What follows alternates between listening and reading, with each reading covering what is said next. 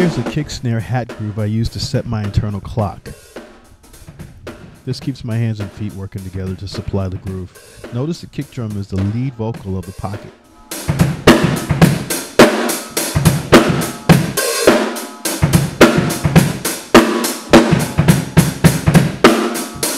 Hear that? That was my signal for breakdown. That was a snare hit on the one. I use this to lead into verses of breakdowns.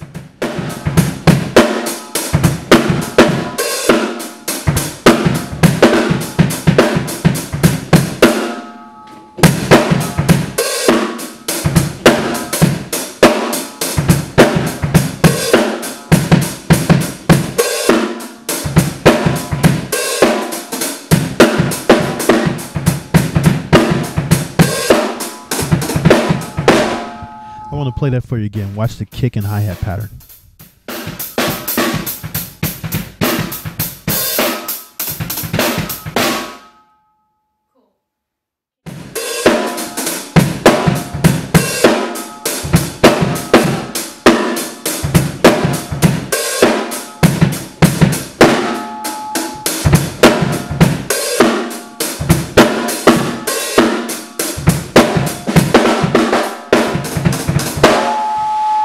Check out the hi hat and kick drum combination here.